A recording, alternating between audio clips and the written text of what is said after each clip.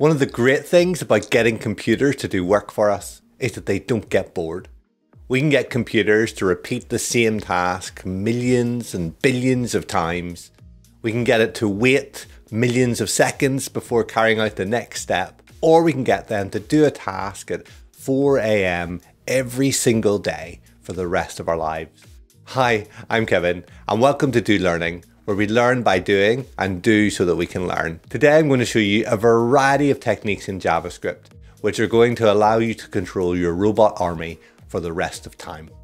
Let's dive in. I'll create a new file called robot.js. And the first thing is a construct that most programming languages have, a while true loop. So inside my while loop, I want to log the time. So I'll initialize a console.time right here, and I'll run console.time log inside of here. Let's run that. So node robot. We can see here it's logging out lots of times a second and it'll keep going forever or until my computer runs out of power or until I kill this process. Now my computer's not going to get bored here, it's going to keep doing it as long as I want. But what instead, I wanted to pause 1, 10, 15 seconds in between each run through my program.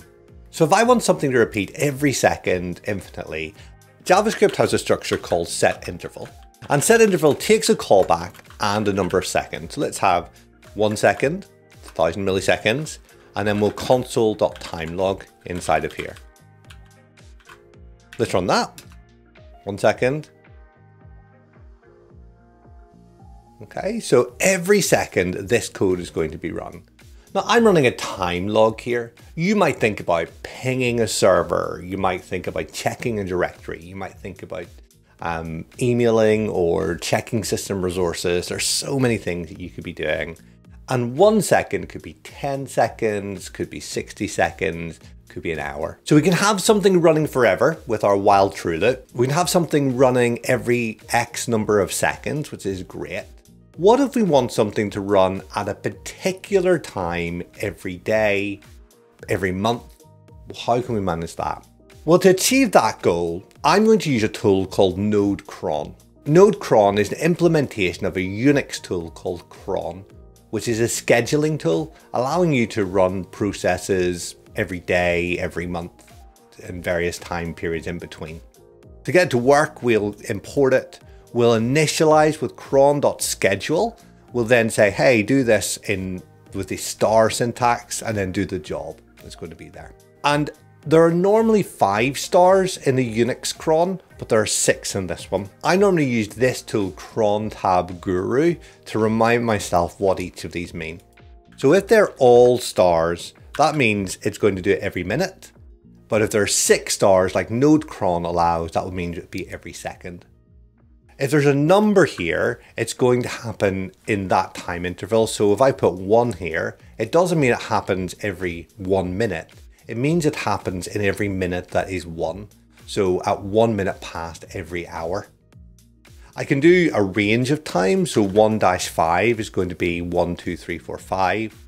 I could do 1 slash 5, which is every fifth minute from 1 through 59 and I could do one comma five, which is going to be the first minute and the fifth minute. So that gives me every minute. If I put a one here, that gets me 1 a.m., one minute past 1 a.m. every day. If I put it here, it's on the first of every month, one minute past 1 a.m. on the first of every month. If I put a one in here, that's the one minute past one on the first of January.